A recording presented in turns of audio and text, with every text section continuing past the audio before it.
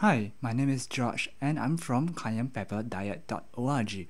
And in the next couple of minutes, I'm going to tell you how to enhance your immune system, cure the end digestion problems, and give you a healthy body with cayenne pepper drink.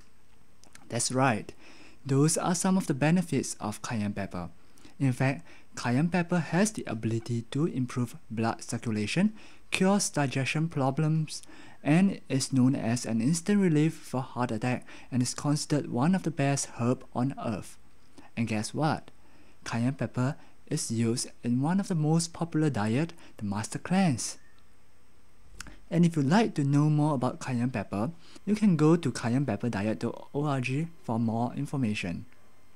For now, let us take a look at how you can make a simple cayenne pepper drink that you can drink it every day to boost your health. Okay, for the ingredients, you will need organic honey or agave nectar or maple syrup and organic cayenne pepper and water. The first ingredient, organic honey, is to make the entire cayenne pepper drink sweet so it'll be easier to drink.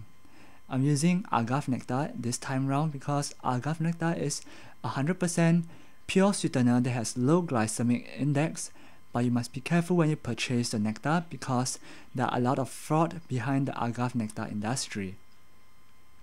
You may want to add 1 or 2 spoons of agave nectar or honey depending on how sweet you want it to be.